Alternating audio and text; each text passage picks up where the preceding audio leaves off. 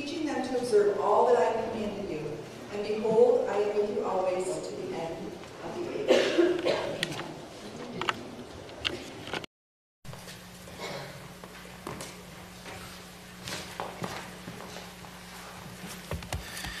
As the ushers come forward, I'd like to share with you some verses from Psalm 86.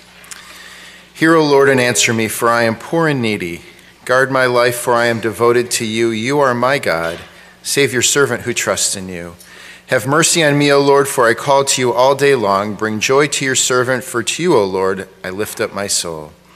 You are forgiving and good, O Lord, abounding in love to all who call to you. Hear my prayer, O, prayer, o Lord. Listen to my cry for mercy. In the day of my trouble, I will call to you, for you will answer me.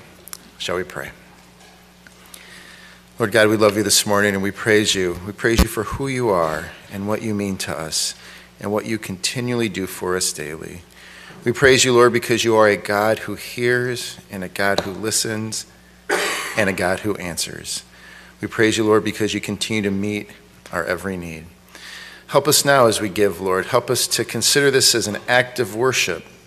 Help us to know and help us to remember that you have called us to give and you've called us to serve. So help us to do it joyfully and generously, knowing that it pleases you. In your name we pray. Amen.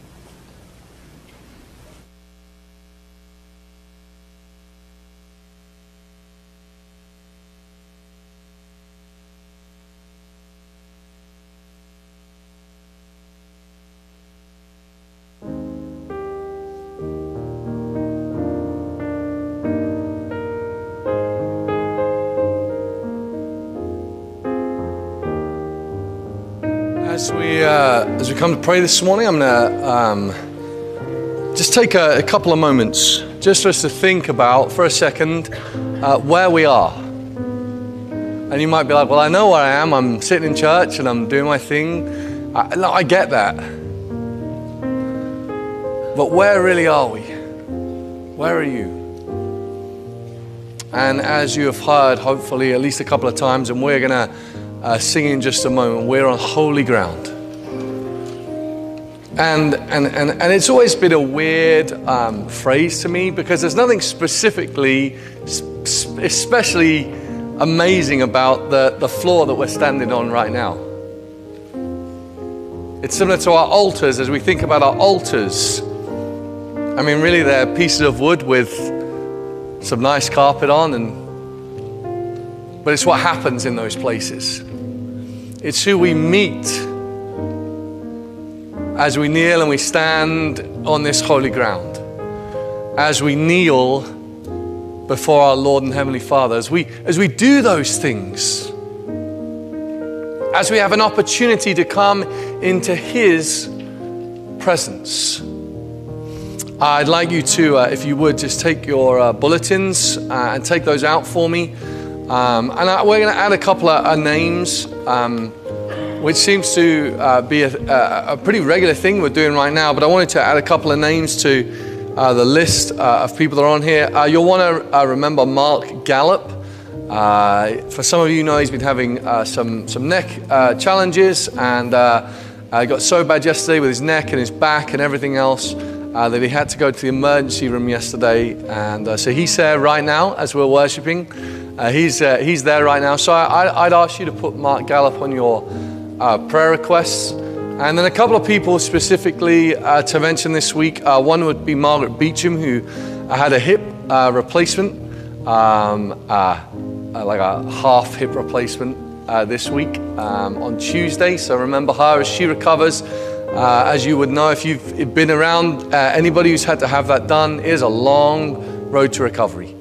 Um, it, it's just going to be in uh, rehab for at least a month and, and all that stuff that goes with that. So we're praying for Margaret as well as Gordy uh, being in separate places and, and Denise and, and, Craig with all that, that they have um, to, to, to, handle and to deal with uh, when it comes to those types of things. I also just wanted to, to mention um, uh, that it's nice to see Bob with us uh, this morning. Um, it's really great to see how the Lord continues to provide for us. And so, Bob, it's been great. We've been praying for you, and it's great to see you this morning. An answer to prayer, uh, a true answer to prayer, as I know this is your last week here before you head to, to Florida and some others. Um, but what a great privilege that we have to, to pray together. And so we're going to sing these, the, this verse together. We're standing on holy ground. Maybe you want to come and you want to kneel at this place. Maybe we want to come and kneel before the Father. Maybe you want to do that this morning, and we'll have an opportunity as we sing to do that, and then uh, I'll close our time in prayer. But we're standing on holy ground in the presence of Jesus Christ, the great I am. Let's sing together. We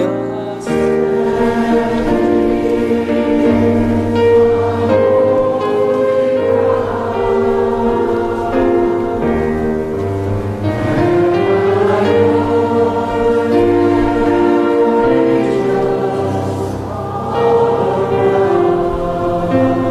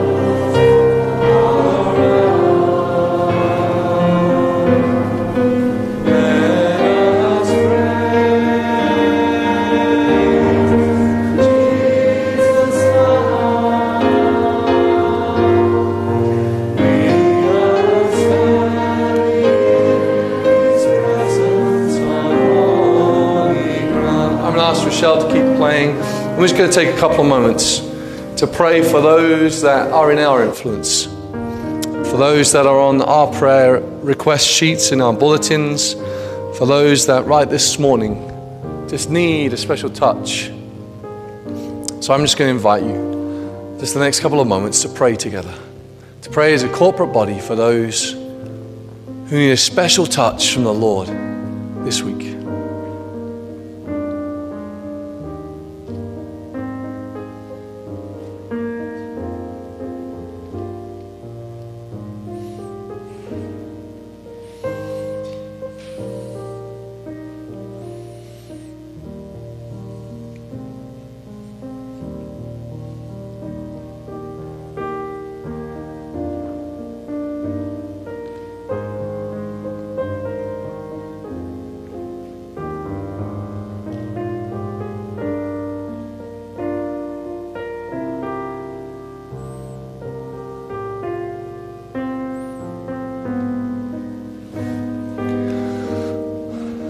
Lord Jesus Christ, we love you. We thank you for your presence amongst us. And Lord Jesus, we just praise you for who you are right now, right here. And that you, that you care for each of us and want to hear from us. And so, Lord, as we have lifted our requests before you, we lift our praise before you. And Lord, as we stand, as we kneel, as we kneel on this holy ground, Lord, I pray that for all of those who need a special touch from you, whether in this place, whether further afield, whether listening online, or wherever it is, Lord, I pray that you will come and that you will be all that they need.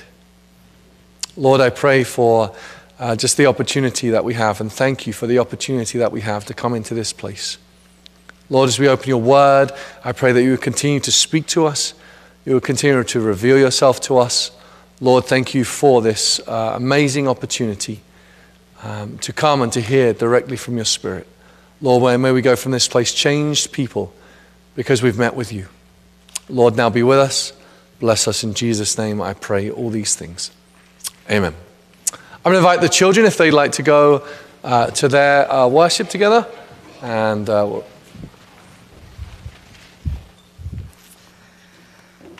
Well, good morning, everyone. Can anyone else smell lunch? I totally can, so maybe it's just right here. that might work to my benefit or not, I'm not sure. All right.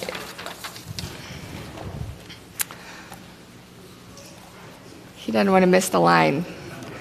That was great. All right, go ahead and turn in your Bibles to Matthew 28. So, Peter and I were at lunch uh, with a pastor friend earlier this week with him and his wife, and they're in another denomination. And, you know, when pastors get together for dinner, they always ask the question, Oh, so what are you preaching on this Sunday? And uh, we don't get together that often, but probably, I don't know, maybe every other month, something like that. And I said, Oh, this Sunday we're talking on discipleship. And he looks at me and goes, Again?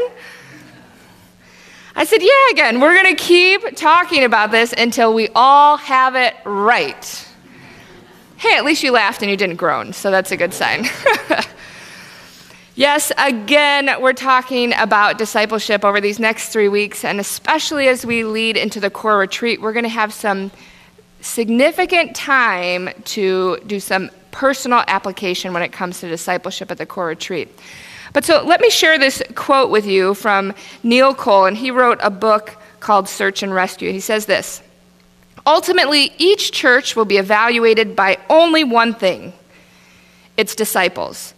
Your church is only as good as its disciples. It does not matter how good your praise, your preaching, your programs, or your property are.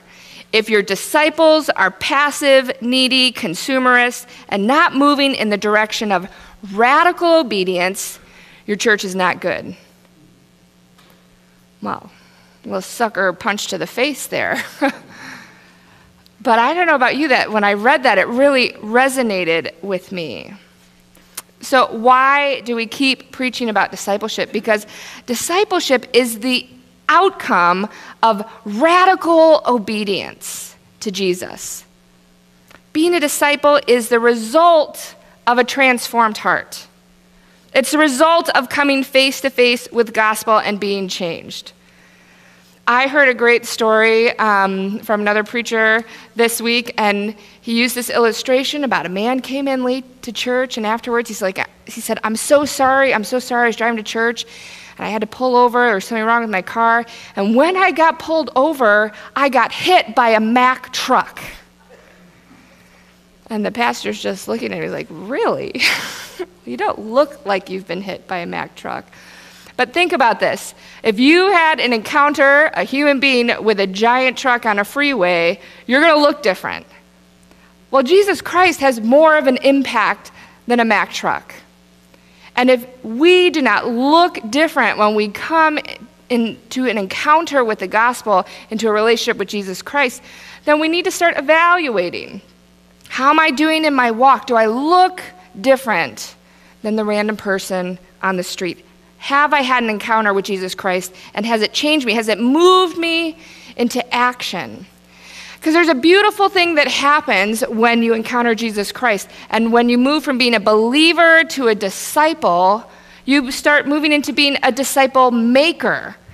And there's a change, there's fruit in how we live, and there's evidence of that transformation. So let's start with a couple of de- definitions. First, what is a disciple? So this is straight from the dictionary. You could probably quote this back to me. It's a follower or a student of a teacher, leader, or a philosopher. There are disciples who are not believers in Jesus Christ. There are disciples of other thoughts or philosophies, but it's a learner. And we want to keep in mind that in the Jewish and the Greek culture, so the context of what the Bible of the time it's written in, they would have understood this, whether it was secular or sacred. They would have understood this, this relationship between teacher and student. They would know that a teacher would train and mentor and teach, and that the student would shape their thinking and their reasoning and even their living to be modeled after the teacher. But this required two things for that teacher student relationship it required time and proximity.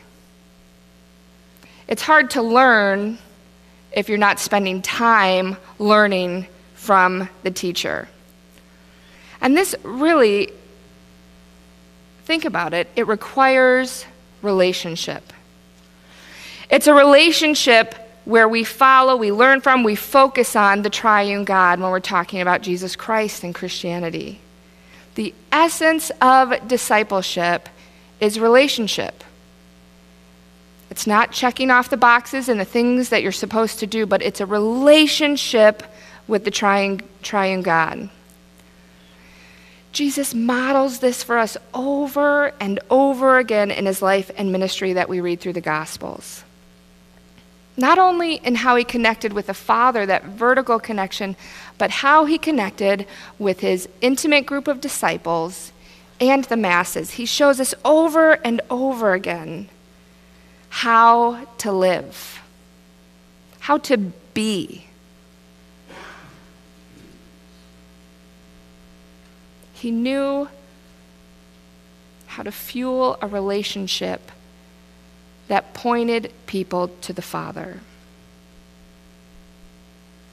And, friends, when someone confesses that they love Jesus and yet they don't have a vibrant, constant relationship with Him, we see a different kind of Christian, which is probably very familiar to many of us. We find people who really, yeah, they believe in Jesus Christ, but they're not disciples. What's the difference here then between a disciple and a believer?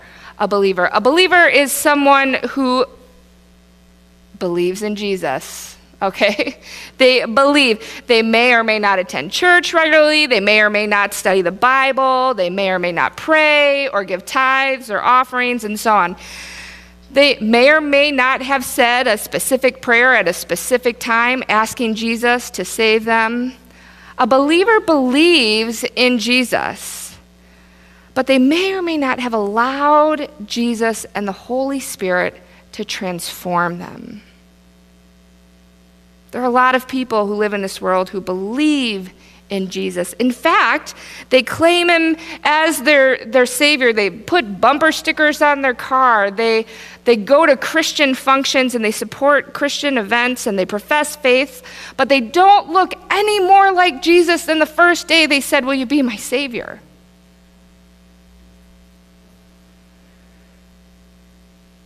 They don't look any more like Jesus. When it comes to discipleship, uh, William Barclay says this. He says, It's possible to be a follower of Jesus without being a disciple, to be a camp follower without being a soldier of the king, to be a hanger on in some great work without pulling one's weight. Once someone was talking to a great scholar about a younger man, he said, So and so tells me that he was one of your students. And the teacher answered devastatingly, He may have attended my lectures, but he was not one of my students. It's one of the supreme handicaps of the church that in it there are so many distant followers of Jesus and so few real disciples. A disciple is someone who is fully committed who, who is committed to obeying Jesus in every part of their life. And not just having Jesus as a part of their life, but living in a way that Jesus is their life. Disciple means, remember, learner. And in the New Testament, you know what these learners did, these disciples? They gave up everything they had in order to follow the Master. And friends, a disciple is what Jesus has called us to become. It says in Matthew 16 24, Jesus says, If anyone desires to come after me, let him deny himself and take up his cross and follow me. And Luke 14 27, and whoever does not bear his cross and come after me cannot be my disciple. Friends, the first challenge for you today is are you a believer or a disciple? Look at Matthew 28 16 through 28. These are some of Jesus' very last words to his followers. And really, it's his vision for those of us who love him Matthew 28 16. Then the eleven disciples went to Galilee to the mountain where Jesus had told them to go. When they saw him, they worshiped him, but some doubted. Then Jesus came to them and said, All authority in heaven and on earth has been given to me. Therefore, go and make disciples of all nations, baptizing them in the name of the Father, and of the Son, and of the Holy Spirit, and teaching them to obey everything I have commanded you. And surely I'm with you always to the very end of the age. So look at this verse 16. First, he does something here in these last words. He reminds us that he has the authority to tell us what to do. I think one of the reasons young people want to grow up so badly is they want to have the authority for, to tell themselves what to do right? They don't want anyone else to tell them what to do. But Jesus reminds us here that he has the authority to cast the vision. He says, believer, follower, remember this. I have the authority in heaven and in earth. Friends, he's the Son of God who was there at the very beginning of the world, at creation. Now, take a second and just quickly, in your memory and your thoughts, everything you know about the Bible and the New Testament, think of all the incredible things that Jesus did in just three short years of ministry. He demonstrated his authority over nature when he calmed the storm. He showed his authority over matter and cells when he said the crippled person to be healed. He showed his authority over the spiritual realm when he would cast out demons who recognized him for who he was. Friends, he demonstrated his authority when he beat death and defeated Satan. He has the authority. This is someone with the power and the knowledge and the experience to follow. Remember who this rabbi is. He's a son of God, born to a virgin who was sinless, was fully God and fully man, who was the perfect sacrifice for all of humanity, for you, that your sins could be redeemed and that you can be reconciled to God. I wonder if it would be that simple this morning that someone just needs to be reminded that Jesus has the authority and because of that, you can and you need to choose the path of being a disciple, to move past that seat of believing and doing nothing else, but to move into a relationship of discipleship where you are ready and willing to grow and mature as a learner. Jesus reminds his followers of his authority. And he gives these final instructions. He says, Go and make disciples of all the nations, baptizing them in the name of the Father and the Son and the Holy Spirit. Teach these new disciples to obey all the commands I've given you. Now, when you hear that great commission, this command, this mandate from Jesus, maybe you have a roadblock up because of the very first word go. You are comfortable right where you are. I don't want to go anywhere. You know, I can really relate to this. there have been a lot of times in my life where I have had to go, where I've been sent.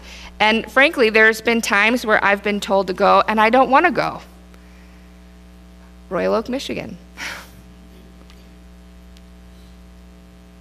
And you know what I've learned? When he says go,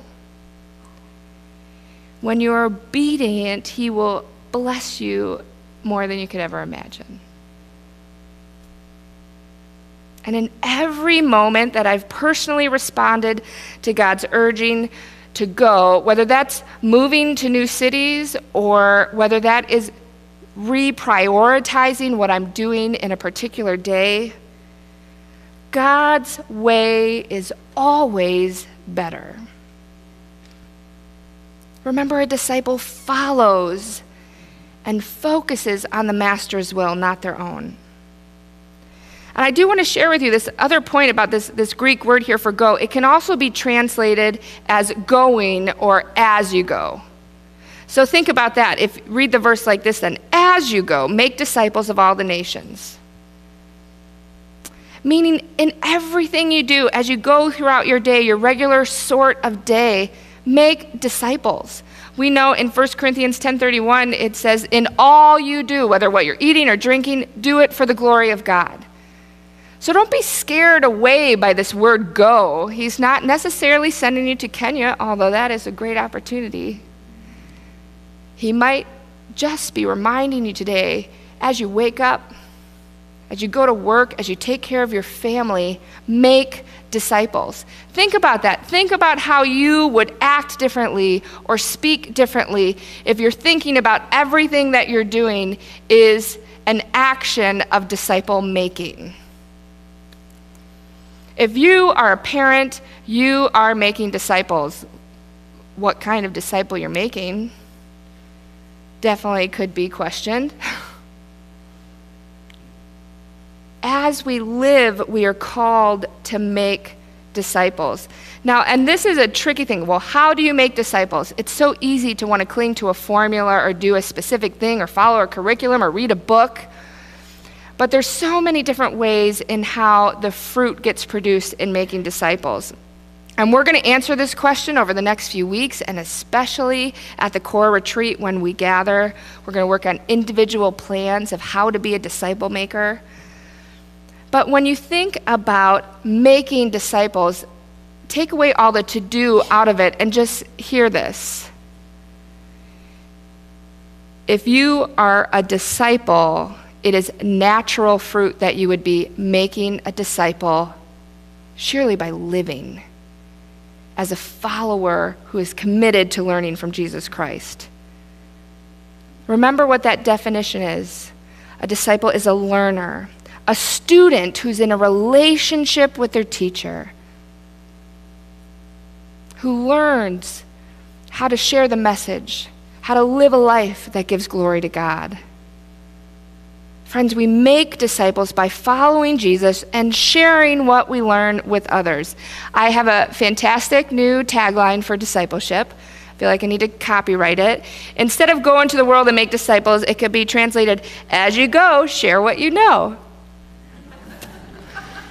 Okay, I know it's cheesy. Thank you for the pity laugh. I appreciate that.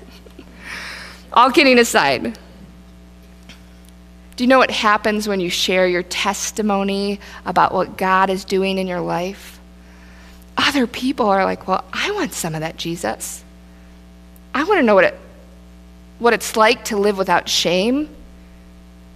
I want to know what it's like to experience grace and peace and comfort and joy. I, I want to know this thing called salvation. And I think it's interesting. I, it's by no accident that in this command, Jesus says, Go into the world and make disciples, baptizing them in the name of the Father, the Son, and the Holy Spirit. The history and the act of baptizing was and is it's a public exclamation, a, a demonstration of the inward work of what Christ has done. Now, most of you in this room would probably already know that the Salvation Army does not practice baptism, but that does not mean we're not participating in the Great Commission. We believe that in that moment of conversion, when we are baptized by the Holy Spirit, we are made new and clean and pure. And we also believe in the public declaration of that inward work. It's called testimony. It's speaking of the truth of what Christ has done. No water, no problem. Say what Jesus has done. Live in a way, speak in a way, share the good news of that inward cleansing and transformation. The point of disciple making, yes, is to, con- to convert, it's to proclaim. And finally, look at that end part of that verse.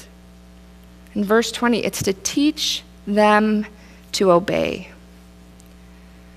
Too often, in our efforts to evangelize the world, to tell people about Jesus, we invite them to have this personal relationship with Jesus Christ, and then they convert, and we kind of leave them dangling. With not enough encouragement, or maybe with insufficient resources of how to develop their relationship with Christ, or maybe even an inadequate relationship with other believers. Disciple making is a community event. We have a relationship with Christ and we connect with others to grow and mature in our faith. Verse 20 says, Teach these new disciples to obey all the commands I've given you. Another word they've used, and we heard it when Rochelle read from her translation, it's to observe all the commands I've given you. Honestly, I, I prefer the word obey because it makes it clear that following Jesus was it wasn't optional. It requires a response of obedience. Friends, we need to remind one another that this final part of the command, this obedience piece, it involves a lifetime of following and learning from Christ. Do you know, Jesus gives more than 400 commands in the Gospels, and more than half of them have to do with disciple making commands. Becoming a disciple of Jesus does not mean completing a curriculum or attending church and having a perfect attendance record or going to every single activity that's ever in the bulletin. Although I do like it when you show up. but it is about choosing a lifestyle. How will you live? How will you be identified? How will you respond? Will you let the Holy Spirit transform you to be more like Jesus. The best part of this grand vision that Jesus has set for us in Matthew 28 is found at the end of verse 20. And surely I am with you always to the very end of the age. Christ is with us. He is with us. He is for you. He is not a teacher who will leave you stranded without support or kindness or goodness or guidance. He is with us. He loves you so much. Friends, are you his disciple? I want to read from, for you from John chapter 17. And this portion of scripture is red letter scripture, the very words of Jesus. And this is his prayer. He knows that he is about to be arrested, will soon be tortured and crucified. He knows he's about to take on the sins of the world. And we have this peek into his prayer to the Father, his connection to the Father. I want to invite you to close your eyes and listen to as I read this. These are the very words of Jesus.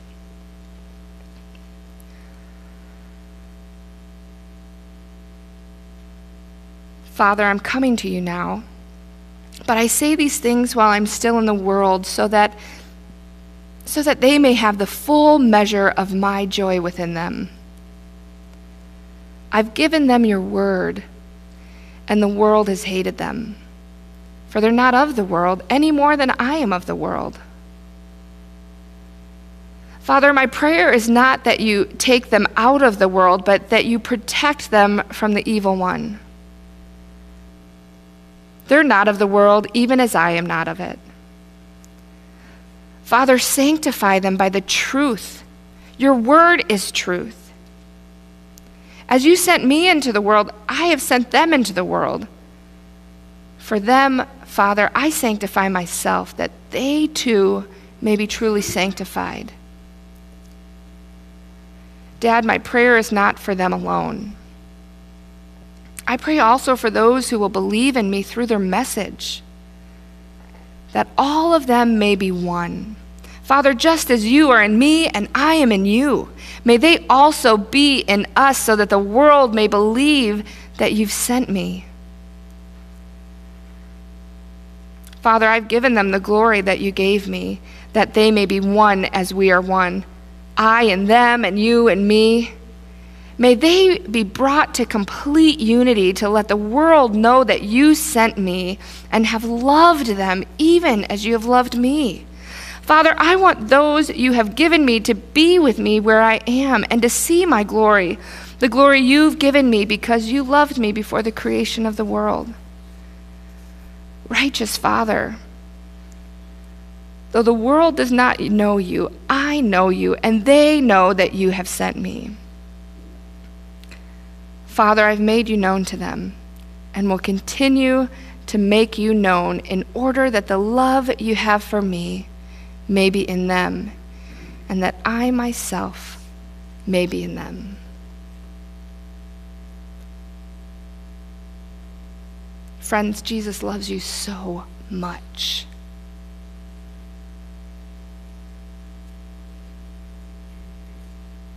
He loves you so much before you were ever born, the Father, the triune God, knew you and He knew there was a purpose for you. To live as redeemed and transformed, to be unshackled by the bounds of sin, to know Him, and to be unified with other believers. we have one mission, we have one vision, and it is to be disciples who make disciples.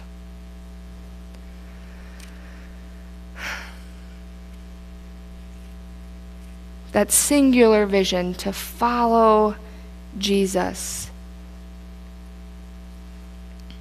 Friends, the challenge today is simple. Are you a disciple? Or have you been comfortably sitting in your believer chair? Really, not letting this Jesus Savior penetrate any other area of your life. You just keep your Christian belief box over here so you don't offend anybody else. Well, that is not a disciple. And the second question is Are you a disciple maker? Are you mentoring? Are you leading? Are you bringing along? Are you journeying with others as they grow in maturity? Are you a disciple maker? Prove it.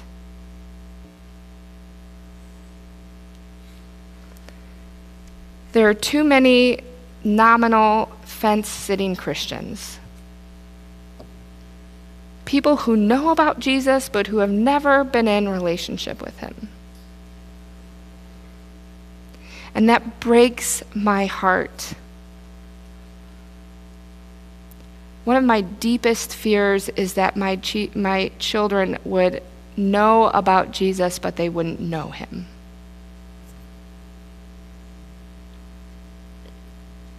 One of my deepest worries is that you would know about Jesus, but that you wouldn't know him.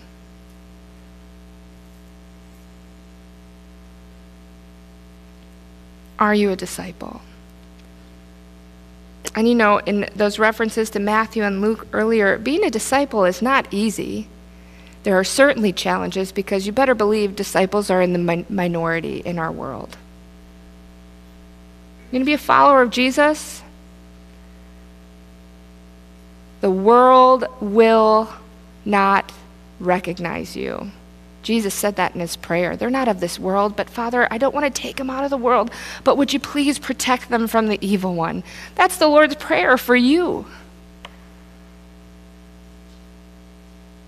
He's with us to the very end of the age, to walk with us and to guide us. But will you choose to be a disciple? Will you follow him and follow him alone? Or will you sit in your believer chair with your back turned to the Christ? There's a beautiful song called If Crosses Come, and the chorus reminds us not to turn back, to stay with our mind and our heart set on Christ, to follow our Lord. Whatever it may cost, will you live to be a disciple who makes disciples, to save, to bring along the lost? I'm going to ask Rochelle to pray, and I want you to know that altars are open. Maybe your prayer this morning is Lord, I want to be a disciple. I want to move out of just believing. I want to follow you. I want my life to be different. I want to look different so people know that I've encountered Jesus Christ. Or maybe you're sitting there and you're like, oh, I don't know if I'm a disciple maker. I mean, I love Jesus. I feel like I'm growing and I'm following him I'm walking with him. But am, am I bringing anyone else along? Well, maybe you need to say, Lord, reveal to me who I need to talk to. Why is it weird for us to talk about spiritual things, to talk about the Bible when we're out at lunch or when we're catching up with a friend on the phone? We have to make this more common. Let us be disciple makers, encouraging one another and bringing each other along. And maybe your prayer this morning is Lord, help me identify my next step. We all need to take a next step. Whether today you're going to accept Jesus Christ as your Savior for the very first time, maybe you're, oh, He died for me that I could be saved? Yes. Maybe you just need the Lord to open your eyes to how to order your day. As you go, how will you make disciples?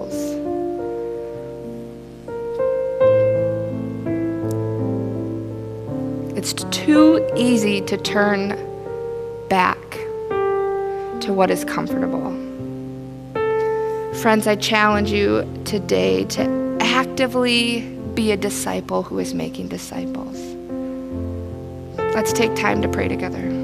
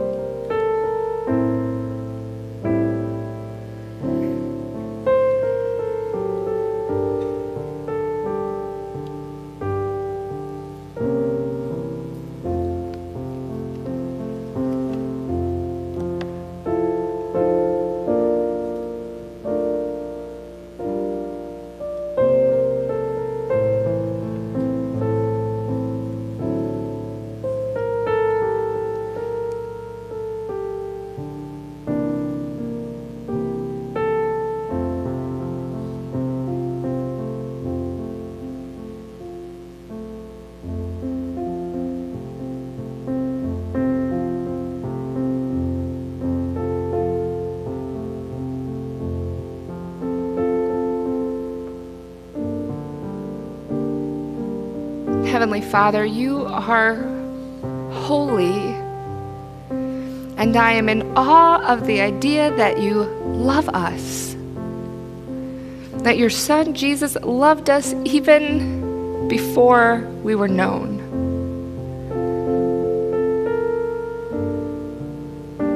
Father, I pray for my brothers and sisters here today. Lord, that they would be challenged to grow and to know you in a powerful way that would change them. That they would seek after your word in a way not to gain knowledge, but to be transformed by your word, to know you more, to know you in a greater way. And Lord, that that passion would just seep out to the community, that we would encourage one another and be excited about what you're doing. Not in a competition to see who knows more, but in a relationship to celebrate what you're doing. God, we want to be disciples who are making disciples. I pray that you would make it clear specific names of people who need to know your changing grace and that you would give us the courage to speak up, to reach out, and to bring others along. Lord, I pray this for the youngest members of our congregation to the oldest that we would be more than believers, but that we would be disciples who are committed to learning, to loving, and to knowing you. Lord, I pray that your power would come in this place and you would transform us. That you would transform this place and the reach and the influence, that you would be known.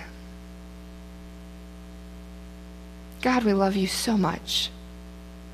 We love you, and I pray that you give us the courage to follow, to not turn back, but to follow. We pray all this in the powerful name of Jesus Christ. Amen. I'm going to invite you to stand and let's sing this song as our benediction today. We'll start with the verses.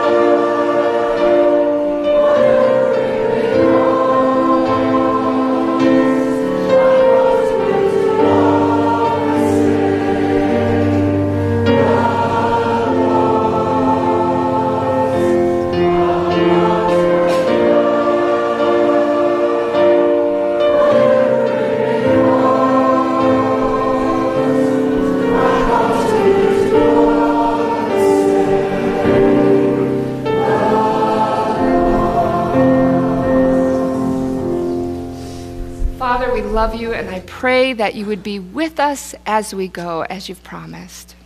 Lord, thank you for your grace and your abundant love.